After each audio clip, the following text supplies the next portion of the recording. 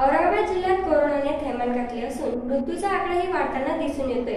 घाटी रुग्णालयात तीनशे एकोणचाळीस रुग्ण गंभीर असल्याची माहिती समोर आली आहे कोरोना संसर्गाची वर्षपूर्ती नुकतीच झाली आहे गेल्या वर्षभरापासून आरोग्य विभागासह महसूल यंत्रणा पोलीस खाते या नैसर्गिक आपत्तीशी झुंज देत आहे.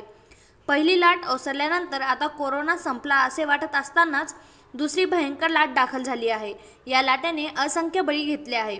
या लाटेला थोपवण्यात अद्याप तरी यश दिसत नाही आहे वर्षभरापासून रुग्ण सेवा करणारे हात आता थकले आहेत. ही थकलेली यंत्रणा संसर्गाशी दोन हात कशी करेल अशी चिंता व्यक्त होऊ लागली आहे. गेल्या वर्षी मार्च महिन्यात शहरात कोरोनाचा पहिला रुग्ण आढळून आला होता. तेव्हापासून या महामारीविरोधात प्रशासन झुंज देत आहे. पहिल्या तीन चार महिन्यात रुग्णसंख्या वेगाने वाढली होती.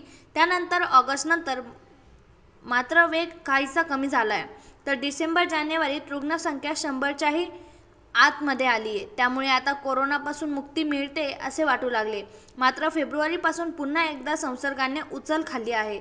आता तर दर दिवशी अकराशे ते बाराशे रुग्ण आढळून येत आहेत. वर्षभरापासून या महामार्गाशी लढणारी यंत्रणा आता हतबल झाल्याचे दिसते. विशेषतः आरोग्य विभागात मनुष्यबळाची प्रचंड कमतरता आहे. परिणामी रुग्णांना उपचार देणे अशक्य बनले आहे. खाजगी रुग्णालयांनी बेडची संख्या वाढवली तर सर्वसामान्यांना हे उपचार परवडणारे नाहीत. त्यामुळे प्रत्येकाचा ओढा शासकीय रुग्णालयाकडेच आहे. गेल्या आठवड्याभरापासून महत्त्वाचे अधिकारी पॉझिटिव्ह निघत आहे. मनपा आयुक्त आस्तिकुमार पांडे मनपाच्या वैद्यकीय अधिकारी नीता पाडळकर घाटीच्या अधिष्ठाता डॉक्टर कानन येळीकर आदी वरिष्ठ अधिकारी संसर्गग्रस्त झाले आहेत.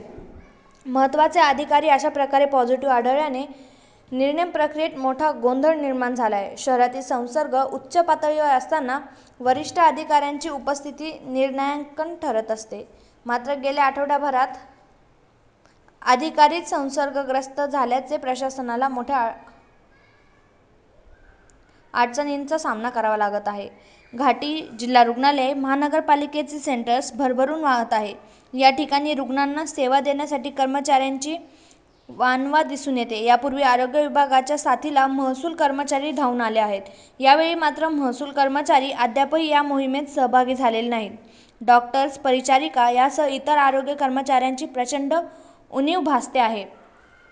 दररोज हजारोंच्या संख्येने वाढणारे रुग्ण आता तोडक्या पडत चाललेल्या उपचार सुविधा यामुळे परिस्थिती अधिकच गंभीर बनली आहे.